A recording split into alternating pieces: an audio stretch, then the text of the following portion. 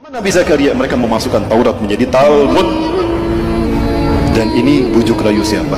Dajjal. Kemudian Bapak Ibu yang mati Allah, maka ketika cerita ini disebarkan, fahamlah Nabi Isa kalau nyawanya terancam. Maka Nabi Isa pergi meninggalkan Palestina, meninggalkan Yerusalem, meninggalkan Al-Quds, mengembara. Saat itu usianya genap 12 tahun. Mengembara Nabi Isa alaihissalam, ada satu kaum di mana kaum itu banyak yang buta sejak lahir diobatin oleh Nabi Isa alaihissalam. Bismillahirrahmanirrahim. Diusap sembuh. Masaha yamsahu masihan wa mashatan. Mashan wa mashatan. Diusap. Mengusap itu masaha. Maka orang yang mengusap disebut masihun al-masih. Mana anda? Kaifa tastati an tuslih hadal ain? Siapa anda? Bagaimana anda bisa menyembuhkan kedua mata saya ini? Aina ya? Apa kata beliau? Aku Isa bin Maryam.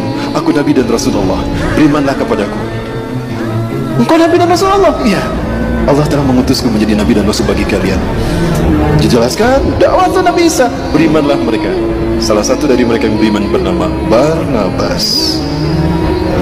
Mengembara lagi, Ketika mengembara lagi ada pula kemudian ada yang beriman lagi. Di antara mereka ada yang penyakit sopak belang diusap oleh Nabi Isa. Bismillah dengan kodrat Allah, dengan izin Allah sembuh tuh. Bismillahirrahmanirrahim. Masa hayam sau diusap sembuh.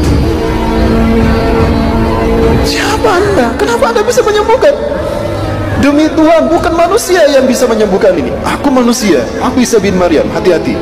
Aku Isa bin Maryam Nabi dan Rasul kalian. Dakwah mereka. Didakwahi mereka sama Nabi Isa. Berimanlah mereka. Salah satu di antara mereka bernama Yekobus.